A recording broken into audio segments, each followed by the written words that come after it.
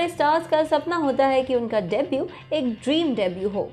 लोगों के सपने सपने ही रह जाते हैं। लेकिन अनुष्का शर्मा का डेब्यू था एक dream debut with superstar Shahrukh Khan in Rab Ne Bana दी जोड़ी, पर उनकी फिल्मी राइड काफ़ी बम्पी रही, कई सारे उतार चढ़ाव के साथ। एक्ट्रेस अनुष्का शर्मा, जिसने इस महीने अपने आठ साल पूरे किए इस ग्लिट्सी हिंदी मूवी वर्ल्ड में, पर सब कुछ अपने बलबूते पर किया।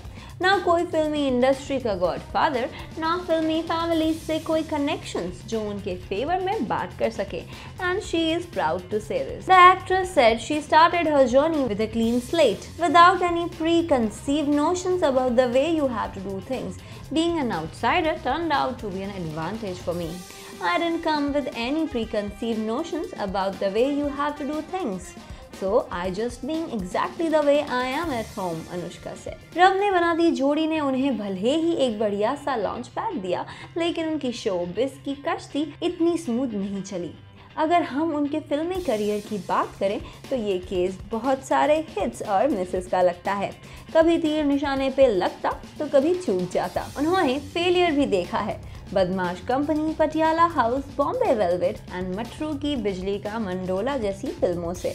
पर दूसरी ओर उन्होंने तारीफें भी बटोरी फॉर फ़िल्म लाइक जब तक Hai Jaan P K and N H ten her hitting N H ten से उन्होंने as a producer film making business पे ऐसा अटैक किया कि पूछिए मत।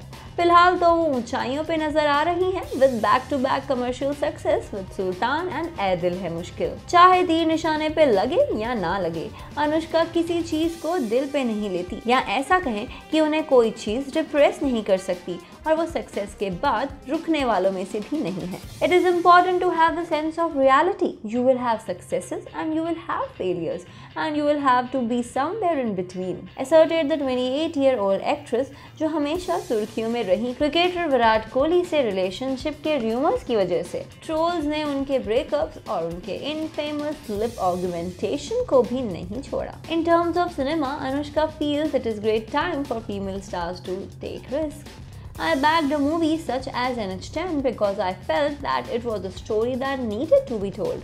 It wasn't the most obvious choice for a film as an actor, let alone producing it. But despite being an adult film, it did well it's about how well the films have been received and loved by audiences, which is directly connected to the storyline and the content, she said.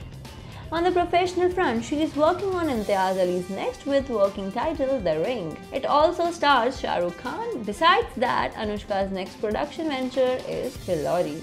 Bureau Report Team Indian Film History. For more updates, please subscribe Indian Film History.